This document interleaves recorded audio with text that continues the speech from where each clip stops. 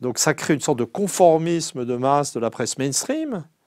Et donc on est mal informé avec le scandale du scandale, c'est le décodex du monde, où, où le un journal qui n'en finit pas de raconter des conneries sur l'euro, sur l'Europe, sur les indicateurs de niveau de vie, etc., se pose comme juge euh, de, sites internet parfaitement respectables, euh, euh, vraiment. Et qui ferait avec Facebook je, Oui, oui, c'est ça, bien sûr, mais, je ne suis pas spécialiste de ces questions. Hein. Moi, je suis, quand même un peu archaïque hein, comme personnage. Mais donc c'est comment dire, donc c'est ces journaux qui représentent quand même. Alors c'est vrai qu'ils sont de moins en moins lus. Euh, ils ont des tirages qui deviennent simplement ridicules. Ils sont sous perfusion complètement tenus parce qu'en fait ils ne tiennent que parce qu'ils appartiennent à des grands groupes financiers qui peuvent éponger leurs pertes.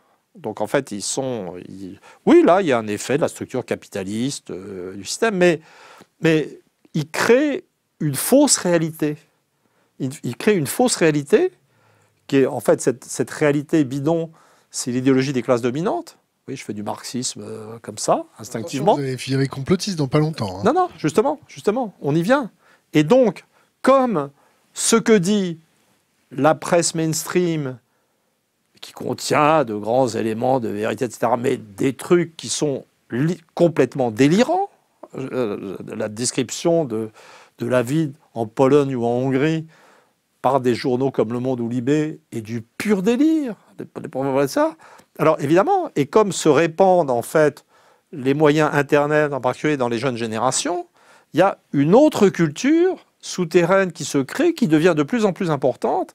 Et dans cette contre-culture, évidemment, comme les trucs officiels patronnés par les élites, entre guillemets, racontent n'importe quoi, évidemment, vous avez le développement de trucs valables et de trucs complotistes c'est évident.